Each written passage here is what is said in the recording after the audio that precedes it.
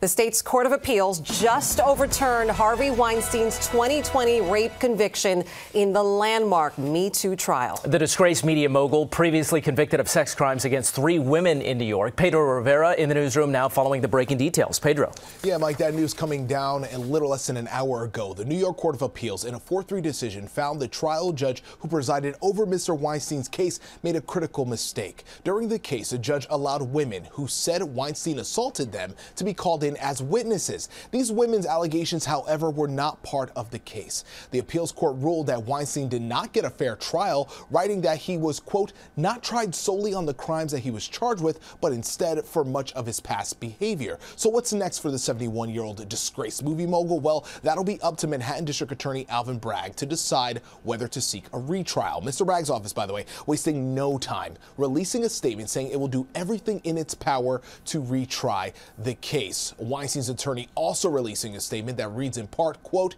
this is not just a victory for Mr. Weinstein, but for every criminal defendant in the state of New York. And we compliment the Court of Appeals for upholding the most basic principles that a criminal defendant should have in a trial. It is important to note Weinstein was also sentenced to 16 years in prison in California after he was convicted of raping a woman at a Beverly Hills hotel. So he's not going to be released immediately. He does remain behind bars in upstate New York. We'll continue to bring you updates at noon.